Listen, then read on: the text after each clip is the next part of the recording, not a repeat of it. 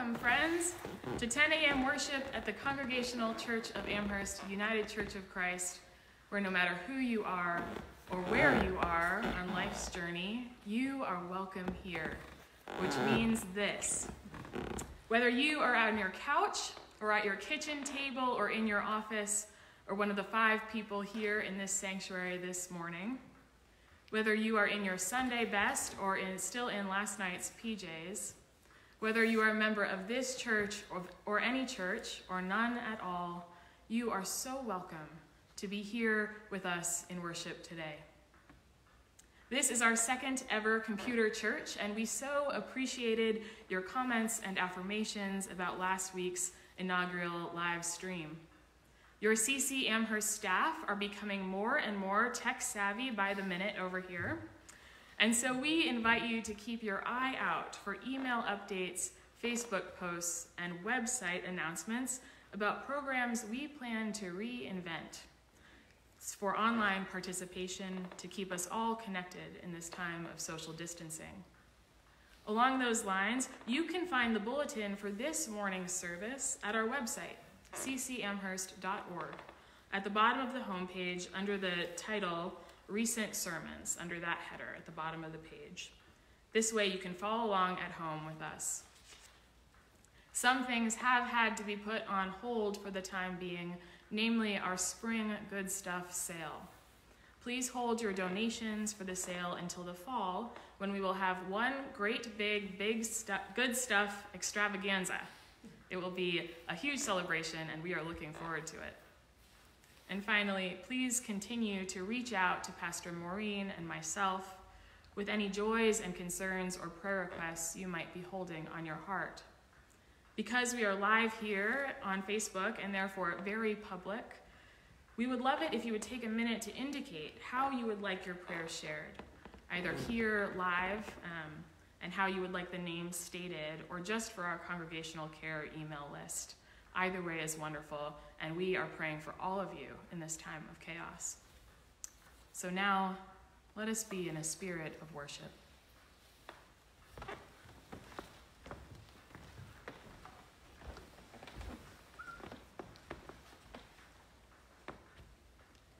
I invite you all now, those who are here and those who are at home who might have seen the call to worship that will be posted right before worship, to join together with us in body and in spirit wherever you are.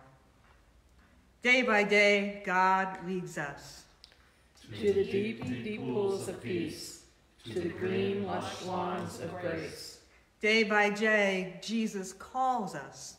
To pour out ourselves in service to anoint the stranger with hope. Day by day, the Spirit shows us the community we could be, the family we are called to become. Day by day, near and far, let us all be in a spirit of worship. We now lift up our prayer of invocation, and at the end of which I will invite you all to join together in the Lord's Prayer. Holy God, we have not traveled very far to come to worship this morning. And yet we feel blessed to be gathered one spirit in Christ. Be with us, divine creator. Be with us wherever we are, in our sanctuary, in our living rooms, in our office nooks and kitchen islands and big comfy chairs. Open our minds to see your presence among us moving in powerful ways at all times and in all places. Open our hearts to hear familiar words in new ways, ways that will change us and challenge us and comfort us. Grant us the power and courage to sit in the dark places with you, the one who shows us the way in hard times. We ask all this in the name of Jesus, who taught us to pray, saying, Our Father, who art in heaven, hallowed be thy name. Thy kingdom come, thy will be done, on earth as it is in heaven. Give us this day our daily bread, and forgive us our debts, as we forgive our debtors. And lead us not into temptation, but deliver us from evil. For thine is the kingdom, and the power, and the glory forever. Amen.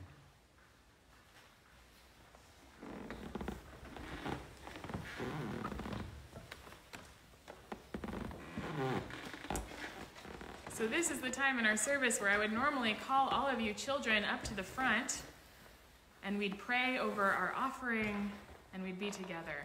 But I know that we are together in spirit, so kids out there, thank you for being with us, and this is a time for you. So, I thought I'd start our children's time today by reading our scripture for today. It's short, it's sweet, and it'll be good to hear twice. So, let's listen to the word of God. The Lord is my shepherd, I shall not want. He makes me lie down in green pastures. He leads me beside still waters. He restores my soul. He leads me in right paths for his name's sake. Even though I walk through the darkest valley, I fear no evil, for you are with me. Your rod and your staff, they comfort me. You prepared a table before me in the presence of my enemies. You anoint my head with oil. My cup overflows.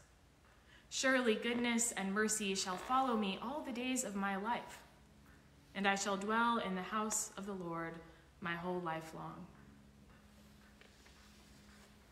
So, if I had you all here, I would ask you, what do you think this scripture is all about? And you would have very insightful answers that I am missing hearing. But since we are reaching out to each other via Facebook, I'm just going to answer my own question. This morning's scripture is about trusting God. It's about trusting God to handle all of the really hard, big, grown up things that are going on, and knowing that God always has our back, even when things feel pretty scary. But sometimes I think it is hard just to sit and wait for God and the grown ups to figure things out. So this week I was thinking a little bit about some things we could do while we're waiting, right? I'm sure you guys have come up with a lot of great things to do at home, so I'm just going to give you one more idea. I was thinking that one thing we could do is tell other people how much we love and appreciate and miss them. So maybe today or over the next week, you can get together with your family and make some homemade cards or drawings to send to some people. I made some of my own here. I've got a We Miss You card and a thank you card. And I did a little drawing that I might send to my grandma. Yeah, here we go. Um, and I was thinking that you could send or a drawing or a card to some of the emergency medical doctors and emergency responders and nurses in our state and our whole region and our whole country who are working really hard to keep us safe and healthy. And I was also thinking that if you're old enough to write, you could write them a little note and tell them what you're doing to help and how old you are and how your family's doing. You could tell them that you're staying home and washing your hands really hard, which is a huge help, right? We all know that. And then I was thinking you could also send some cards or pictures or notes to other members of our church that you would see normally, but you aren't seeing right now so that everyone can stay safe and healthy. And you could tell them that you miss them and that you hope that they are staying safe and healthy too. Maybe you have one of these green directories at home, right? And if not, you can actually access it now on our new website. And so you could get your parents to go in and type in their credentials and pull up the directory. And you could look through the directory and find someone that you recognize the name of, or someone even that you don't, right? And you could send them a note, or a letter, or a picture that you drew. And this is one way we can all stay connected with one another. And you adults can do that too, actually, believe it or not. But the most important thing to know is that there are things that we cannot control, right? And those things are the things that we can talk about with adults that we trust and with God, right? And we can trust those adults and God to take care of them over time. And then there are things that we can do to help, like washing our hands and staying home and reaching out to one another. So, this is just one idea, but if you come up with other ideas, I'm going to invite you to ask your parents to maybe write it in the comments on this Facebook video, mm-hmm. or ask your parents to send me or Maureen an email, or you can send us a letter and let us know how you're doing and how your heart is today. So that's my message for you guys this morning, and we're going to do one of these every week until we can be together again. So let us pray. Gracious God, thank you for all of the children of this church. Thank you for their presence with us in spirit this morning. Bless them, keep them safe and healthy and happy in this new time, and show them ways that they can show your light to the world. In the name of Jesus, we pray. Amen. All right, so now it's time to pass the peace. So I'll invite you to stand up and, you know, maybe you're shaking your own hand and that's good, and you can know that everyone here is sending our love to you, or you can turn to your family or your partner and shake their hand, or, you know, maybe do this, right? And say, The peace of God be with you. And we'll all say, And also, and with you. you.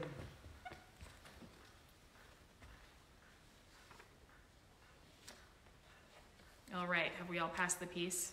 I think it's a little bit of a shorter time now than it used to be. So, let us uh, move into our time of sermon and scripture. I'll start with our scripture intro this morning. So, here we are, friends, week four of a seven ish Lent- week Lenten journey. And oh boy, are we in the wilderness this year, right? In this unknown time, which is a time that's supposed to be for exploring the unknown, anyways, the lectionary, which is, um, we've talked about this a little bit before, this is the tool that Maureen and I use, that many churches all over the world use, to guide us in what scripture is to preach each week. The lectionary has given us a gift the 23rd Psalm. The 23rd Psalm is maybe the most well known Bible passage of all time, and definitely the most famous psalm, right? I bet you knew it instantly when I read it earlier for the kids or at least remember hearing it in a graveside, scene in a movie once. This is a scripture passage that touches many of our hearts. Even though it uses language that is antiquated in our day, not many of us know actual shepherds or anoint ourselves with oil anymore. It still speaks to our spirits, especially in times of distress, of sorrow, and of grief. And so I'm not going to over explain this passage this morning. But what I will say before we hear it once again is that this is what scholars call a psalm of trust. There are several, several psalms of trust in the book of Psalms. Psalms are actually songs, and they would have been sung rather than read long ago. And so, as you listen to this familiar passage, imagine it as a song a song about trusting God no matter what the circumstances are. Now hear the words of the psalmist and listen for the word of God.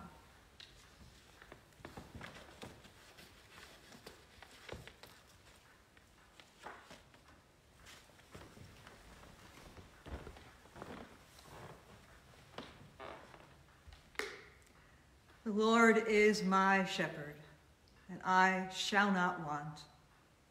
He makes me lie down in green pastures. He leads me beside still waters. He restores my soul. He leads me in right paths for his name's sake. And even though I walk through the darkest valley, I fear no evil. For you are with me. Your rod and your staff, they comfort me. You prepare a table before me in the presence of my enemies. And you anoint my head with oil, and my cup overflows. Surely goodness and mercy shall follow me all the days of my life, and I shall dwell in the house of the Lord forever.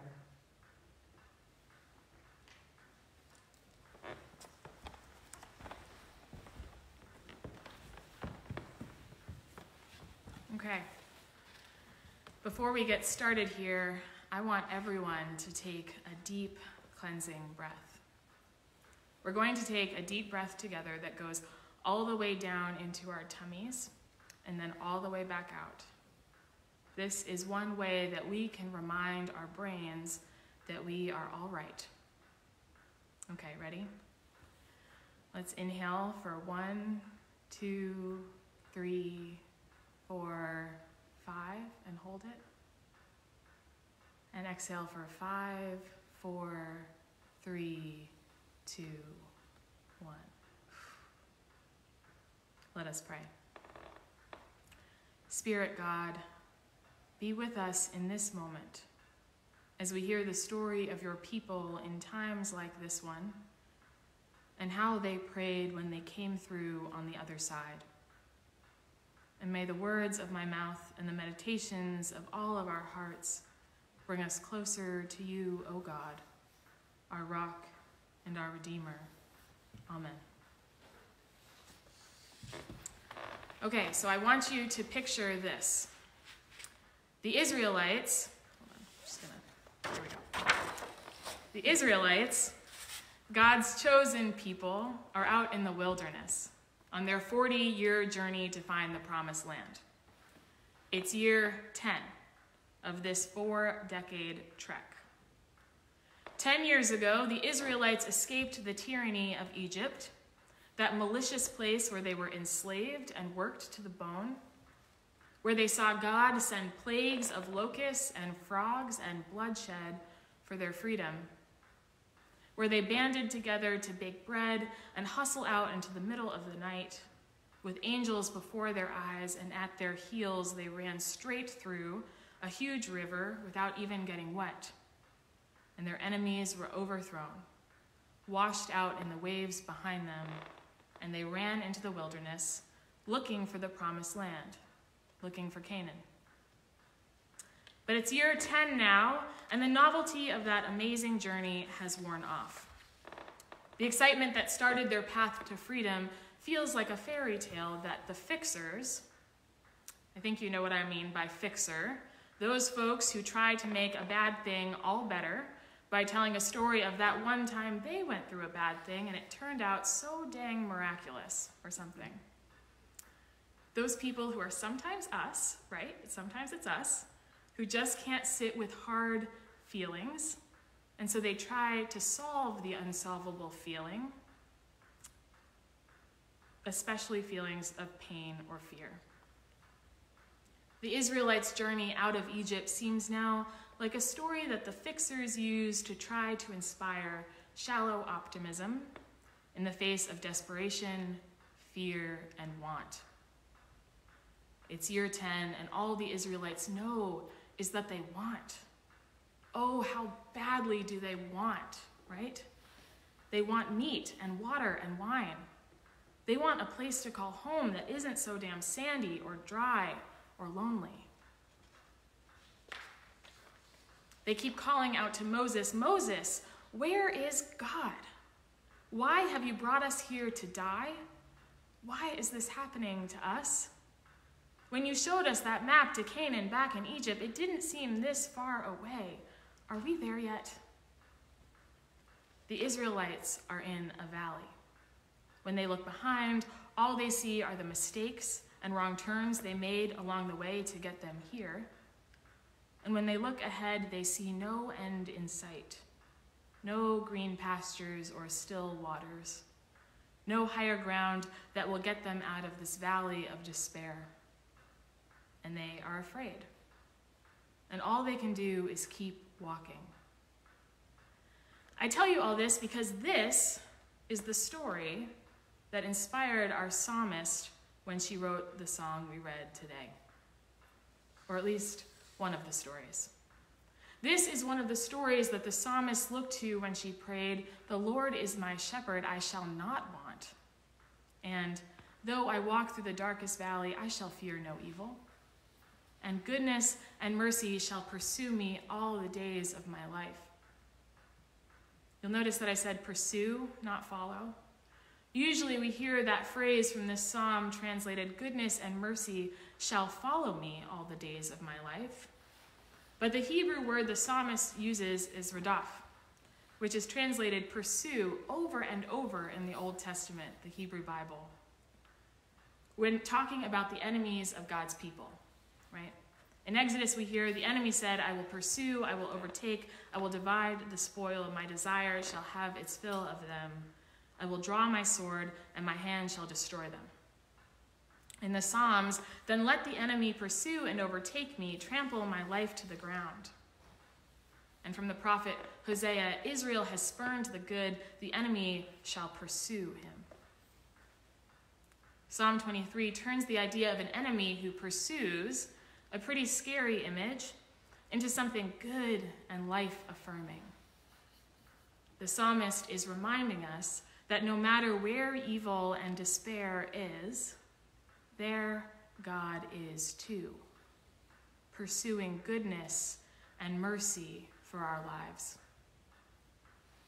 Because we know that despair is real and present, right?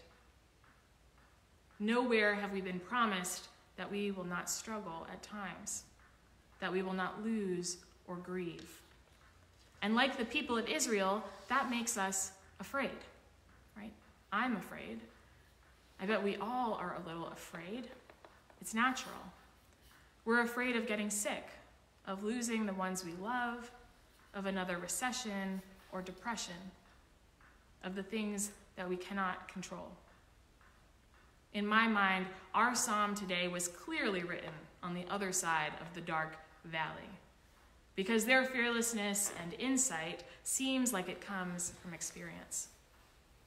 From the experience of walking through that valley of the shadow of death and coming out on the other side. This story of the Israelites is the one the psalmist remembers because the Israelites eventually, after 30 more years, after more hardship and pain, and it must be said, relentless courage, do get to the promised land. And here's what they learned. When they look back on their 40 years in the wilderness, their 40 years looking for the promised land, they see that God was with them every step of the way. They remember how manna fell from the sky right when they needed bread the most. They remember the quail that came out of nowhere when they were starving for, for protein and sick to death of weird heaven bread. They remember the water that came out of the rock when they thought they were going to die of dehydration. They remember how God promised to provide and then did. They also remember the pain of that time. They remember the sores on their feet and the heartbreak of homelessness. They remember being scared and wondering if they would ever get reestablished, if they would ever have their feet on the ground. They remember facing their enemies enemies of greed and fear and self righteousness and depression, and overcoming them one by one. They remember that the wilderness did not kill them. They remember how God didn't abandon them, even when they were being their worst selves. Even when they were shaking their fists at the skies and threatening to abandon God and worship something else altogether. God still led them like a shepherd, anointing their heads with oil, laying a table before them. And when they look back on the wilderness, they find that what they learned made them stronger. They learned that they had to share and love one another to get by. They learned how their community was their life saving grace in the desert. They find that they learned how to trust God far more in the darkness, in the hardest times, than they ever would have in the easier ones. They found that giving God their trust is a much truer way to love God than offering tokens of their affection before a man made altar. They found that there is no substitute for a belief that is strengthened by trial and experience. They learned that in their search for the promised land, they were already in a time of not knowing how grave or how long this crisis will go it will likely be weeks before we know how this pandemic will resolve for us and for our country.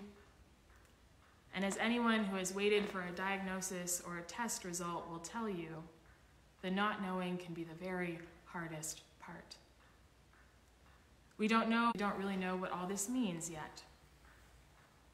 It is too early to make meaning of all this, but it is not too early to rest in and rely on the stories of our ancestors. Our faithful predecessors walked through their own valleys and found that God was by their side the whole way, anointing them not just on the easy days, but on all of the days of their lives. We can listen to their stories. And it's also not too soon to learn from their hard won lessons. They warn us don't dwell on past mistakes or jump to hasty conclusions. Don't abandon ship. Love your neighbor as yourself. Be not afraid. Remember, beloveds, we were made for such a time as this. And as we navigate this bleak time together, we are called to look for the love and light of God in ourselves, in one another, and in the world. And of course, to keep on walking until we get to the other side. Thanks be to God, and Amen.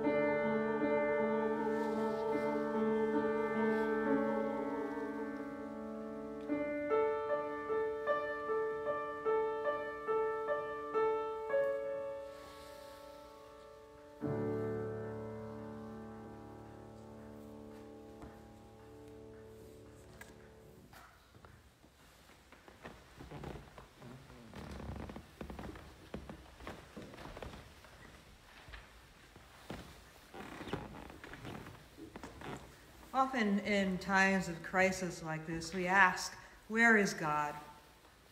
Well, I'm here to tell you that God is in you, and God is in those gathered around you right now. God is in your family and friends. God is in your neighbor. God is in the stranger, the people you don't even know. God is in all of us because God has is and has always been working through us. We are the presence of God in the world. God is in our phone calls and in our letters and in our delivered meals and all the ways we reach out to one another, especially in this time when we can't really be together or touch one another. So, wherever you are, I invite you to be gathered together in the spirit of prayer as we be this presence of God for one another. This morning, I'd like to lift up prayers of sympathy for Tim Wiegand and his family. Tim's father, Richard Wiegand, passed away on Friday in Wellington, Ohio, and he was 91 years old. Now, a funeral will take place this Thursday in Ohio, and thankfully it will be live streamed, so Tim and his family all their gathered family can watch it from afar. So may we hold the Wiegand family in our prayers. God, in your mercy, hear our prayer. A prayer from Cynthia, prayers for her mother Ruth, who is recovering from back surgery. God, in your mercy, hear our prayer. From Leona, prayers for my cousin Emily and her husband Lenny, who recently had twins. God, in your mercy, hear our prayer. And we lift up prayers for our world as we collectively respond to this unprecedented spread of the coronavirus. We pray for strength and healing and an influx of resources for those areas that have seen their population and their healthcare facilities overwhelmed, especially in China, in Italy, and Spain, and right here in our own country, in New York, and California, and Washington, and all of our 50 states. We pray for the medical professionals, we pray for the grieving, we pray for all of us. And God, in your mercy, hear our prayer.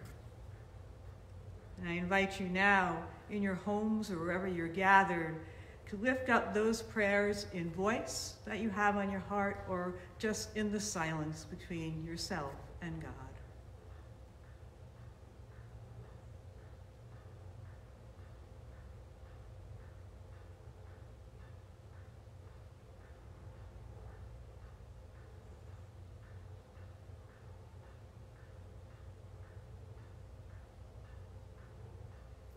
God, in your mercy, hear our prayers.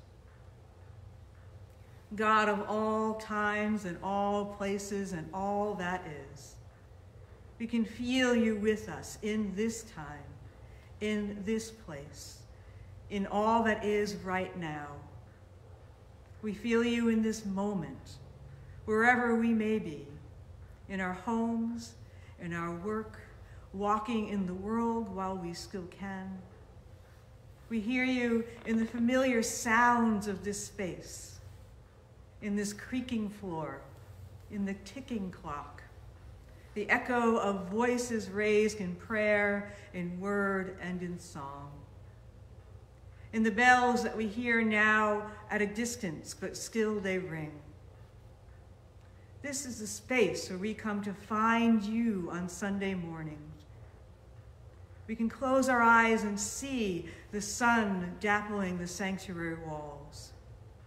We can see the worn and scuffed floor at our feet. We can see the faces of the children peering over the pews.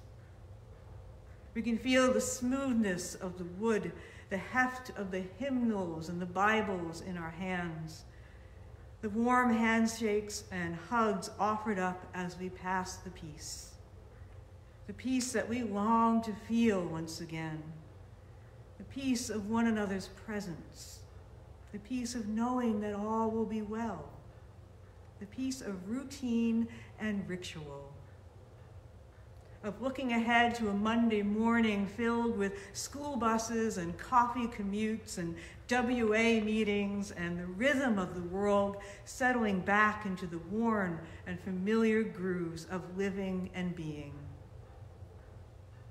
Compassionate God, we pray for all of those settling into new routines. For parents and children learning how to separate work and play within the same space. For teachers and administrators learning how to educate from afar. For businesses and organizations learning how to serve and survive in creative and unexpected ways. We pray for those whose new routines have brought unanticipated stress and risk. Those working in grocery stores and pharmacies and other businesses deemed essential for all of us. Police officers and EMTs and other first responders who are still responding to traffic accidents and domestic incidences and heart attack scares as, as they always have and always will. And we pray for our healthcare professionals working night and day with too many patients and not nearly enough supplies, with too much uncertainty, too much fear, too much pain, and not enough hours or shoulder strength to carry it all. We pray for those who have lost their work in restaurants and movie theaters and hair salons and sports arenas and art museums all those places deemed non essential in the moment. Dear God, we breathe all of this. We breathe it in not knowing when we will be able to exhale, not knowing when we will be able to leave our homes and stop being afraid of unclean doorknobs and unsatisfied spaces. We'll no longer hear about projected new cases, and the phrase social distancing will be but a distant memory. But God of all times, we are not there yet, but we will be. And in this time, in this liminal time, in this in between what was before and what will be, you are with us, lifting us up and holding us up you are the very ground beneath our feet. The wind that flows around us, the sky which bends above us, the all encompassing embrace of creation. And we fall into that embrace, O oh God, trusting that you will catch us and hold us and comfort us. Regardless of what is to come, Regardless of how dark and shadowed the valley is before us, you are with us. Your guiding rod and your shepherd's staff, they comfort us. You lay us down to sleep in green pastures. You lead us beside still waters, and you restore our souls. You are our God, our creator and comforter, and you are big enough to carry all that we cannot. So we leave all of this with you in this moment, in this space, the uncertainty, the unknowing, the unfamiliar, the unexpected. And we walk together into the next moment, knowing that you are with us all the days of our lives. Amen.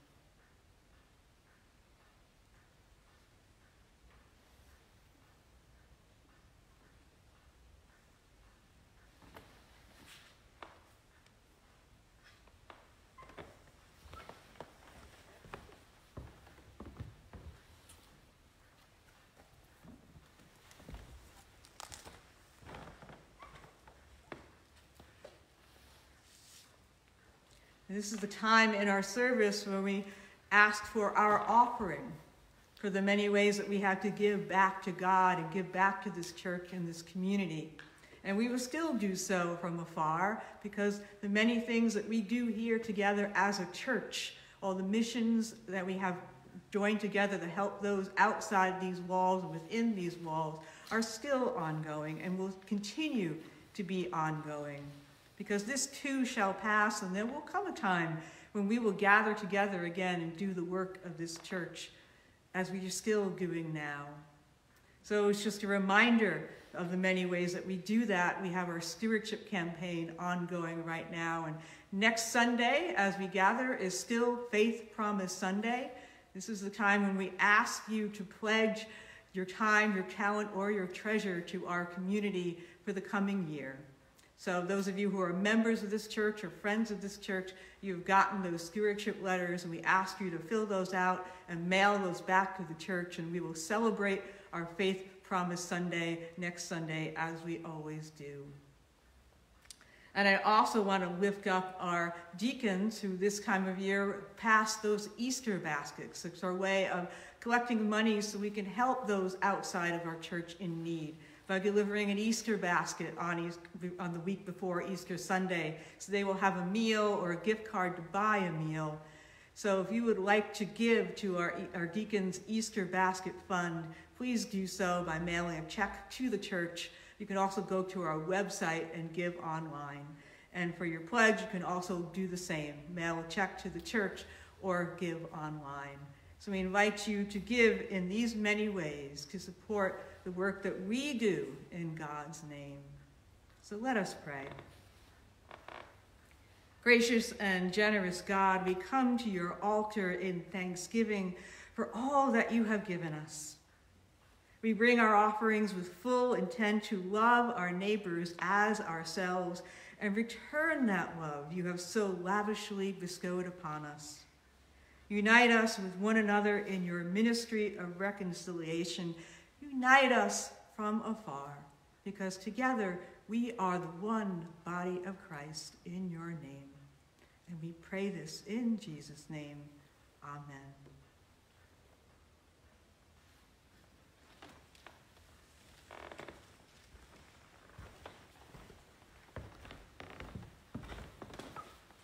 My friends, it has been so good to worship with you this morning.